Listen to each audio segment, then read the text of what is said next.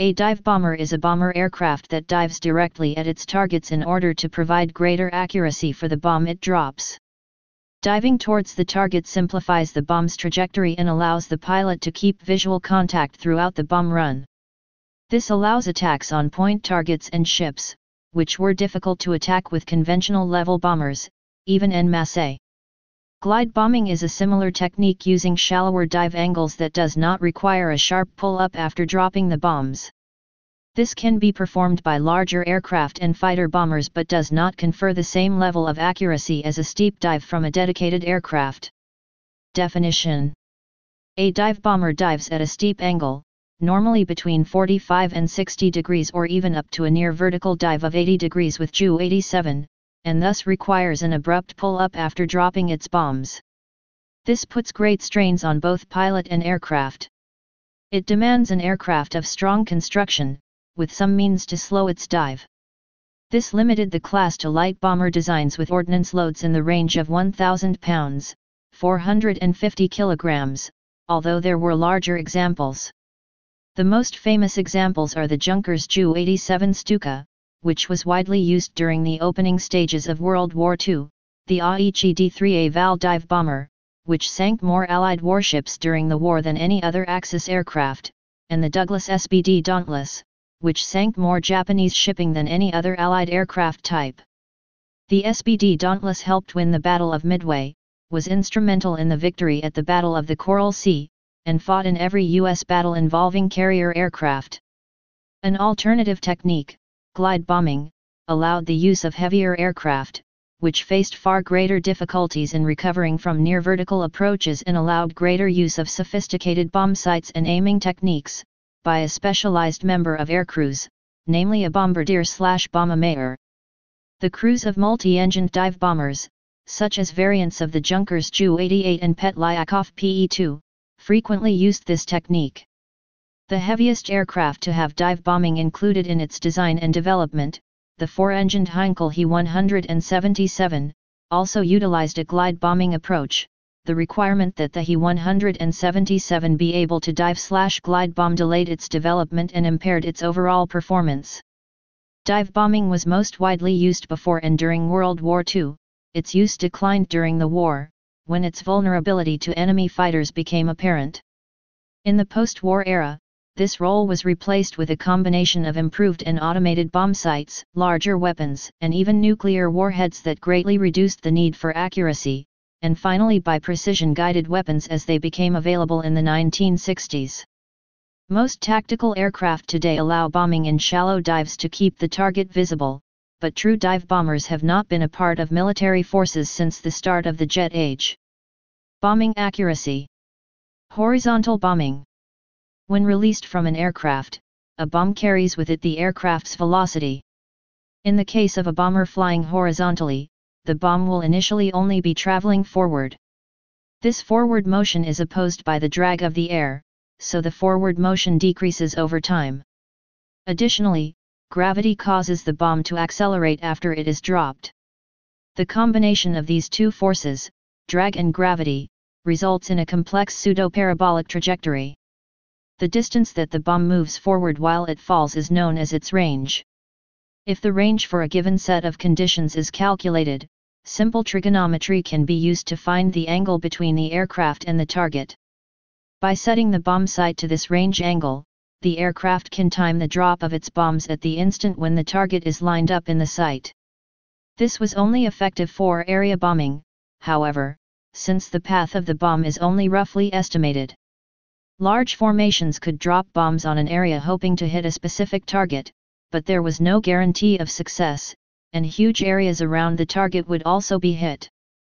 The advantage to this approach, however, was that it is easy to build such an aircraft and fly it at high altitude, keeping it out of range of ground-based defenses. The horizontal bomber was thus ill-suited for tactical bombing, particularly in close support. Attempts at using high-altitude bombing in near proximity to troops often ended in tragedy, with bombs both hitting their targets and friendly troops indiscriminately. In attacking shipping, the problems of inaccuracy were amplified by the fact that the target could be moving, and could change its direction between the time that the bombs were released and the time that they arrived. Successful strikes on marine vessels by horizontal bombers were extremely rare. An example of this problem can be seen in the attempts to attack the Japanese carriers using B-17S and B-26S at altitude early in the Battle of Midway, with no hits scored. The German battleship Tirpitz was subjected to countless attacks, many while in dock and immobile, but was not sunk until the British brought an enormous 12,000 pounds, 5,400 kilograms, tallboy bombs to ensure that even a near miss would be effective. Dive bombing an aircraft diving vertically minimizes its horizontal velocity component. When the bomb is dropped, the force of gravity simply increases its speed along its nearly vertical trajectory. The bomb travels a virtually straight line between release and impact, eliminating the need for complex calculations. The aircraft simply aims at the target and releases its bombs. The primary source of error is the effect of wind on the bomb's flight path after release. As bombs are streamlined and heavy, wind has only a slight effect on them and the bomb is likely to fall within its lethal radius of the target. Bomb sighting becomes trivial, requiring only a straight line of sight to the target. This was simplified as the aircraft was pointed directly at the target, making sighting over the nose much easier. Differences in the path of different bombs due to differing ballistics can be corrected by selecting a standardized bombing altitude and then adjusting the dive angle slightly for each case. As the bomber dives, the aim could be continually adjusted. In contrast, when a horizontal bomber veers offline while approaching the bomb release point, turning to the angle that would correct this also changes the speed of the aircraft over the ground, when there is a wind, and thereby changes the range as well. In the 1930s and early 1940s, dive bombing was the best method for attacking high-value compact targets, like bridges and ships, with accuracy. The forces generated when the aircraft levels out at the bottom of the dive are considerable. The drawback of modifying and strengthening an aircraft for near vertical dives was the loss of performance. Aside from the greater strength requirements, during normal horizontal flight, Aircraft are normally designed to return to fly straight and level, but when put into a dive the changes in forces affecting the aircraft now cause the aircraft to track across the target unless the pilot applies considerable force to keep the nose down, with a corresponding decrease in accuracy. To compensate, many dive bombers were designed to be trimmed out, either through the use of special dive flaps, such as Fairey-Youngman flaps, or through changes in tailplane trim that must be readjusted when the dive is completed. The Vultee Vengeance, mostly used by the RAF and RAF in Burma, was designed to be trimmed for diving, with no lift to distort the dive. The drawback was that it flew nose up in level flight, increasing drag. Failure to readjust trim made the aircraft difficult or impossible to pull out of a dive. A dive bomber was vulnerable to low-level ground fire as it dived towards its target, since it was often headed in a straight line directly towards the defenders. At higher levels, this was less of a problem, as larger AA, anti-aircraft, shells were fused to explode at specific altitudes, which is impossible to determine while the plane is diving. In addition, most higher altitude gunners and gunnery systems were designed to calculate the lateral movement of a target, while diving, the target appears almost stationary. Also, many AA mounts lacked the ability to fire directly up, so dive bombers were almost never exposed to fire from directly ahead. Dive brakes were employed on many designs to create drag which slowed the aircraft in its dive and increased accuracy. Air brakes on modern aircraft function in a similar manner in bleeding off excessive speed. History Origins It is difficult to establish how dive bombing came into being. During World War I, the Royal Flying Corps on the Western Front found its biplane two-seat bombers insufficiently accurate. Commanders urged pilots to dive from their cruising altitude to under 500 feet, 150 m, to have a better chance of hitting small targets, such as gun emplacements and trenches. As this exposed the aircraft and crew to destructive ground fire in their unprotected open cockpits, few chose to follow this order. Some recorded altitude at the top and bottom of their dive in logbooks and squadron records, but not the steepness of the dive. It was certainly not near vertical, as these early aircraft could not withstand the stresses of a sustained vertical dive. The Royal Naval Air Service was bombing the Zeppelin sheds in Germany and occupied Belgium and found it worthwhile to dive onto these sheds to ensure a hit, despite the increased casualties from ground fire. The angle of dive in these attacks was again not recorded. Beginning on June 18, 1918, the Royal Air Force, formerly the Royal Flying Corps, ordered large numbers of the Sopwith TF.2 Salamander, a single-seat biplane. The TF stood for Trench Fighter, and the aircraft was designed to attack German trenches with both Vickers .303 machine guns and 25 pounds, 11 kilograms, bombs.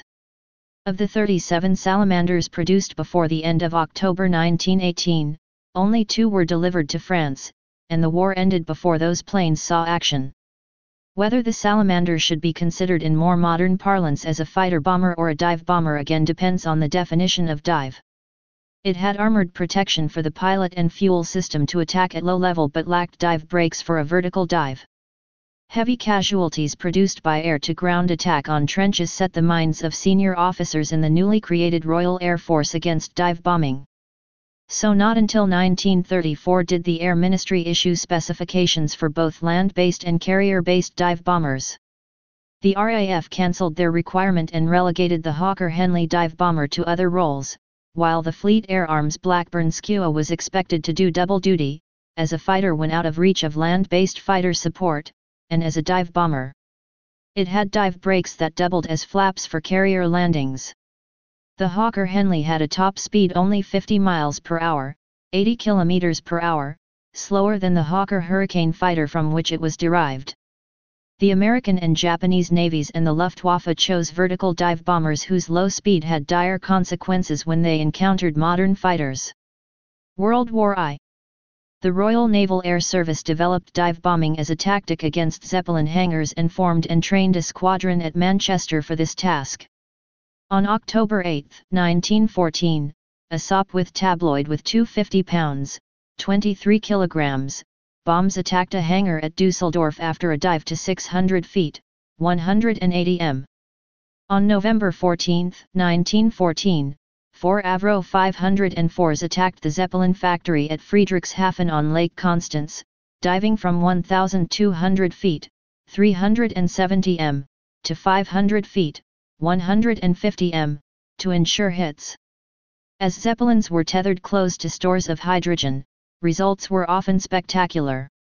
The first use of dive bombing by the Royal Flying Corps, which had been urging its pilots to drop bombs at heights below 500 feet, 150 m, in order to hit within 150 feet, 46 m, of the target since February 1915, was later that year. On November 27, 1915, Lieutenant Duncan Grinnell Milne arrived in his Royal Aircraft Factory B.E.2C over railway marshalling yards near Lis in northern France, to find the target already crowded by other bombers. He dived from 10,000 feet, 3,000 m, to 2,000 feet, 610 m, before releasing his 20 pounds, 9.1 kilograms, bombs. A few weeks later, Lieutenant Arthur Gould dived to just 100 feet, 30 m, to hit buildings near Arras. The Royal Flying Corps developed strafing with diving aircraft using both machine guns and small bombs as a deliberate tactic. At the Battle of Cambrai on November 20, 1917, 320 Mark IV tanks and 300 aircraft, mostly Sopwith Camels and Airco DH-5s with 20 pounds, 9.1 kilograms, bombs, were used to suppress artillery and machine guns. The cost in pilots was very high, with casualties on some days reaching 30%. The Sopwith Salamander was developed as the first dedicated ground attack fighter. Based on the Sopwith Snipe it had 600 pounds, 270 kilograms, of armor in the front end to protect the pilot and fuel against ground fire. While 1,400 were ordered, only two were delivered to France before the armistice. Only 500 were produced. The initial impact at Cambrai was highly successful. The staff officer to the Royal Tank Corps Lieutenant Colonel J.F.C. Fuller published findings which were later taken up by Heinz Guderian to form the basis for the blitzkrieg tactics of using dive bombers with tanks employed by the Germans in 1939-40. Second Lieutenant William Henry Brown, a Canadian from British Columbia serving with the RFC and flying a Royal Aircraft Factory S.E.5A, made the first attack on a vessel on March 14, 1918 destroying an ammunition barge on a canal at Bernat near St. Quentin, diving to 500 feet, 150 m, to release his bombs. He was awarded the Military Cross for this and other exploits. Brown's technique was emulated by other British squadrons. But the heavy casualties to unprotected pilots cast a pall over the results and influenced RAF thinking for 20 years. Interwar era The Royal Flying Corps was initially impressed with the potential of the dive bomber, but was aware of its suicidal nature. It ran a series of tests at the Armament Experimental Station at Orfordness in Suffolk. Sopwith Camels and Royal Aircraft Factory S.E.5 as were used in early 1918 to dive bomb targets from various heights, with different bombs and with and without the use of the Aldis gun sight, which had been invented in 1916 to aid pilots to calculate the deflection required to hit a traversing German plane. In principle, it obviated the need for a vertical dive.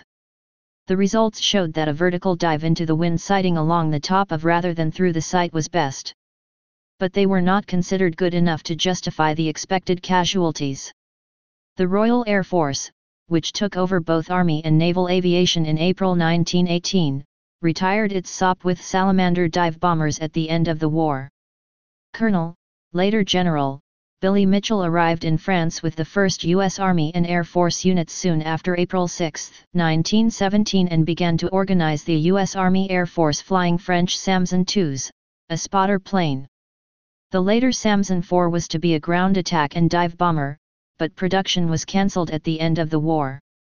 Mitchell became a strong advocate of dive bombers after witnessing British and French aerial attacks. Mitchell by now Assistant Chief of the Air Service United States Army arranged tests with captured German and obsolete U.S. ships in June and July 1921 and repeated over the next two years using Royal Aircraft Factory S.E.5 as as dive bombers and Handley Page O-400S and Martin NBS-1S as level bombers carrying bombs of different weights up to 2,000 pounds, 910 kilograms. The SMS Ostfriesland was sunk and so later were the USS Alabama, USS Virginia, and USS New Jersey. Opposite conclusions were drawn by the RAF and USAS, from two very different tests regarding the usefulness of dive bombers, with the RAF concluding that the cost in pilots was too high to justify the results and the USAS considering it as a potent anti-ship weapon. Both naval staffs opposed the view taken by the respective airmen.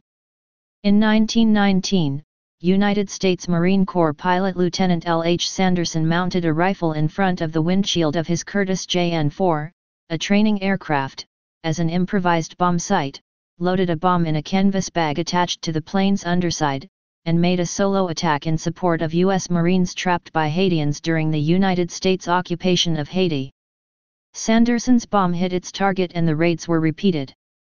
During 1920, Sanderson familiarized aviators of USMC units on the Atlantic coast with dive bombing techniques. Dive bombing was also used during the United States occupation of Nicaragua. As aircraft grew more powerful, dive bombing became a favored tactic particularly against small targets such as ships.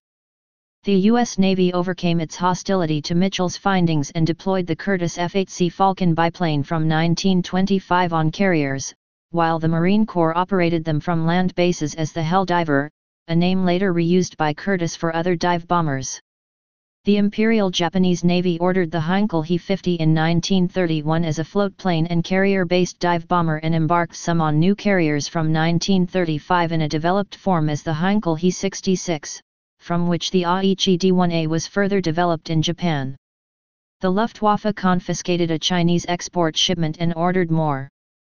Navies increasingly operated carriers, which had a limited number of aircraft available for attack, each with only a small bomb load. Targets were often likely to be a small or fast-moving and the need for accuracy made dive bombers essential. Ernst Udet, a German First World War ace, persuaded Hermann Göring to buy two Curtiss Hawk IIS for the newly reformed Luftwaffe. Udet, then a stunt pilot, flew one in aerobatic displays during the 1936 Berlin Olympic Games. Due to his connections with the Nazi Party, he became the development director of the Ministry of Aviation, Nazi Germany, where he pushed for dive bomber development. Dive bombing would allow a low-cost Luftwaffe to operate effectively in the tactical role. Against small targets, a single-engine dive bomber could achieve four times the accuracy at one-tenth of the cost of a four-engine heavy bomber, such as the projected Ural bomber, and it could reach the battlefield well ahead of field artillery. Soon the Luftwaffe issued a contract for its own dive bomber design, resulting in the Junkers K-47, which, following extensive trials, would in turn result in the gull-winged Junkers Ju-87 Stuka, a contraction of Flugzeug, literally diving combat airplane. Several early Junkers Ju-87 dive bombers, which first flew in on September 13, 1935, were shipped secretly from Germany to Spain to assist General Francisco Franco's nationalist rebels in the Spanish Civil War. Several problems appeared, including the tendency of the fixed undercarriage to sink into soft ground and an inability to take off with a full bomb load. Condor Legion experience in Spain demonstrated the value of dive bombers especially on the morale of troops or civilians unprotected by air cover. The aircraft did not encounter opposing modern fighters, which concealed from the Luftwaffe its vulnerability. Udet was impressed with the Stuka's performance in Spain, so he ordered that the Junkers Ju-88 medium bomber should also be retrofitted as a dive bomber. This required some 50,000 modifications, increasing its weight by 5 tons and reducing speed by 120 miles per hour, 190 kilometers per hour. He also insisted, against the advice of Ernst Heinkel, that the Heinkel He-177 bomber, ordered in November 1937, be able to dive bomb. Lack of a sufficiently powerful, reliable power plant fatally compromised its utility, it never performed in the dive bomber role, and the requirement was eventually dropped.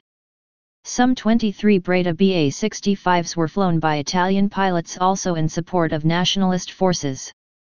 First flown in 1935, it was a single-seat dive bomber carrying the same bomb load as the Stuka with a 30 miles per hour, 48 kilometers per hour, speed advantage in level flight. As the Royal Navy again took control of the Fleet Air Arm, it began to receive the Fairey Swordfish from 1936 and Blackburn Skuas from November 1938. The Skua had a secondary function of intercepting attacks by unescorted long-range bombers. With four 0.303 Browning guns and another rear-facing, it was expected to defend against air attack with a top speed of 225 miles per hour, 362 kilometers per hour, at sea level, which was a comparable low-altitude speed with other Navy's carrier-borne fighters in 1938-39. The Swordfish was also capable of operating as a dive bomber and in 1939 HMS Glorious used her Swordfish for a series of dive bombing trials, during which 439 practice bombs were dropped at dive angles of 60, 67, and 70 degrees, against the target ship HMS Centurion. Tests against a stationary target showed an average error of 49 yd, 45 m, from a release height of 1,300 feet, 400 m, and a dive angle of 70 degrees. Tests against a maneuvering target showed an average error of 44 yd, 40 m, from a drop height of 1,800 feet, 550 m, and a dive angle of 60 degrees. The Fairey Albacore was also designed to act as a dive bomber and was used extensively in this role during World War II the British Air Ministry issued a specification 434ths in 1934 for a ground attack aircraft with dive bombing capability. The Hawker Henley was a two-seat version of the Battle of Britain winning Hawker Hurricane. It was fast at almost 300 miles per hour, 480 kilometers per hour, at sea level and 450 miles per hour, 720 kilometers per hour, in a dive but development was delayed when hurricane development took priority. Just 200 were built and it was relegated to target towing. The RAF ordered the US-built Vultee A-31 Vengeance in 1943, but it was similarly relegated to target towing after a brief operation period in secondary theaters. The Curtiss SBC Helldiver was a biplane dive bomber that had been taken aboard the USS Yorktown, CV-5, in 1934, but it was slow at 234 miles per hour, 377 kilometers per hour. 50 XS Navy examples were flown to Halifax, Nova Scotia by Curtiss pilots and embarked on the French aircraft carrier Béarn in a belated attempt to help France, which surrendered whilst they were mid-Atlantic. Five airframes left behind in Halifax later reached the RAF, who quickly relegated them to the status of ground instructional airframes for the training of mechanics. The Japanese introduced the Aichi D3A VAL monoplane as a successor to the biplane Aichi D1A in 1940 with trials aboard the carriers Kaga and Akagi. It was to prove a potent weapon against surface ships. Only the Wehrmacht learned from the Battle of Cambrai, 1917, in using dive bombers in conjunction with tanks. The writings of Colonel J.F.C. Fuller a staff officer and Basil Liddell Hart a military journalist propounded the concept of mobile tank forces supported by ground attack aircraft creating a breakthrough. These were eagerly studied by Heinz Guderian, who created the combination of Panzers and Junkers Ju-87s that proved so potent in Poland and France.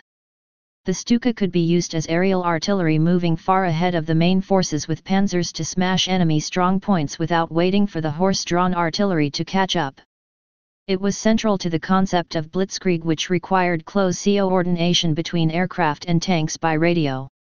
The RAF had chosen the single-engined Fairey Battle and the twin-engined Bristol Blenheim as its tactical bombers. Both were level bombers with similar bomb loads and entered service in 1937. The U.S. Army Air Corps, USAC, adopted the Douglas Havoc, first flying in January 1939, for a similar role, although originally ordered by France. Many were also supplied to the Soviet Air Force, which also used the Ilyushin Il-2 Sturmovik ground attack aircraft in huge numbers. None of these were dive bombers. No Allied Air Force operated a modern dive bomber at the outbreak of the Second World War, although both the Royal Navy and the U.S. Navy had shipboard dive bombers. World War II European Theatre On April 10, 1940, 16 Blackburn Skuas flying at extreme range from the Naval Air Station at Hatston, Orkney led by Lieutenant Commander William Lucy sank the German cruiser Königsberg in Bergen Harbour, whilst trying to prevent the German invasion of Norway. On the German side Stukas augmented or replaced artillery support for their lightly armed parachute and airborne troops. The invasion of Poland and the Battle of France saw the Stuka used to devastating effect. German blitzkrieg tactics utilized dive bombers in place of artillery to support highly mobile ground troops. The British Expeditionary Force had set up strong defensive positions on the west bank of the Oise River to block rapidly advancing German armor. Stukas quickly broke the defenses, and a crossing was forced long before German artillery arrived. On December 13 May 1940, Stukas flew 300 sorties against strong French defensive positions at the Battle of Sedan. This enabled German forces to make a fast and unexpected breakthrough of the French lines, eventually leading to the German advance to the Channel and the cutting off of much of the Allied army. The skies over Sedan also showed the Stuka's weakness when met with fighter opposition, Six French Curtiss H-75s attacked a formation of unescorted Ju-87s and shot down 11 out of 12 without loss. The Stuka was even more vulnerable to the Hawker Hurricane with its 100 miles per hour, 160 kilometers per hour, speed edge and 8 machine guns, which it first met over France and then in larger numbers in the Battle of Britain. Losses were such that it was rapidly withdrawn from operations over the United Kingdom. A similar fate befell unescorted RAF Fairey Battles over France. The Stuka had 7.92 mm machine guns or 20 mm cannons mounted in the wings. Some were modified to destroy tanks with heavy caliber, 37 mm Bordkanone BK 3,7 autocannons mounted in gun pods below the wings. They were very successful in this role in the early days of Operation Barbarossa before the Red Army Air Force countered with modern fighters, such as the Yakovlev Yak 1 and later Yakovlev Yak 3. The most successful dive bomber pilot was Hans Ulrich Rudel who made 2,530 sorties. He sank the Soviet battleship Marat at Kronstadt on September 23, 1941 using 1,000 pounds, 450 kilograms, bombs. Later, using a tank buster Stuka with 20 mm cannon, he claimed over 100 Soviet tanks destroyed, mostly at the Battle of Kursk in July 1943. The Ju-87G Kanonenvogel equipped with two 37mm BK-3,7 anti-tank guns, as suggested by Rudel, proved to be a lethal weapon in skilled hands.